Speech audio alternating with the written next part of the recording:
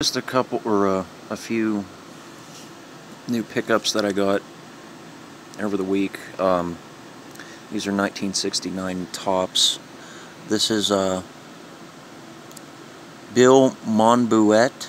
Mon I can't pronounce his name, but as you can see, yeah. Um, manager of the Padres in their first year of a or first season of existence. Preston Gomez. Okay. Uh, another uh, another player for the Padres in their first year, Zoilo Versalles. Uh, he played shortstop, and here's for the Atlanta Braves, Sonny Jackson, or Sonny Jackson, who also played shortstop uh, for the Atlanta Braves. Uh, for the Oakland Athletics, we have Danny Cater, who played first base.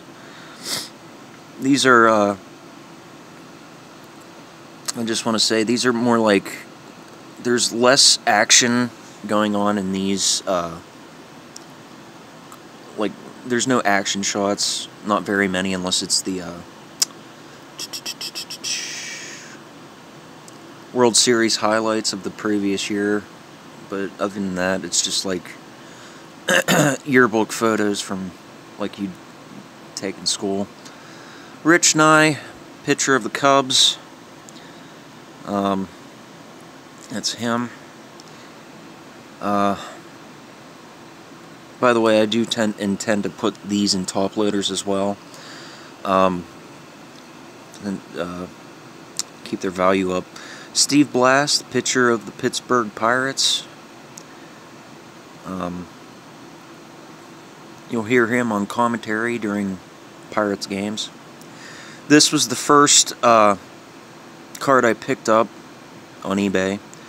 Uh, this is Rusty Staub, first base of the Expos, uh, which was the Expos' first year after they were established. Uh,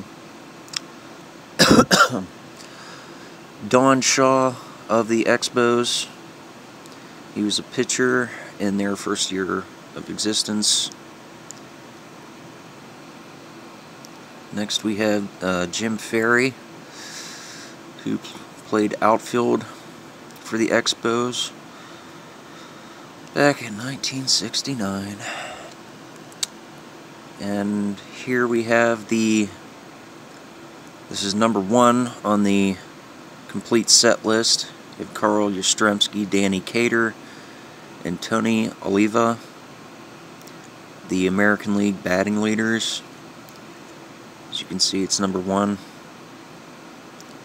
Uh, and last but not least, we have the first series checklist, which I am working on. I have other cards on the way in the mail, but I mean, this will help me out quite a bit in collecting them. Uh, but anyways, hope you all enjoyed. I'll try to make more videos. Till next time, peace and chicken grease.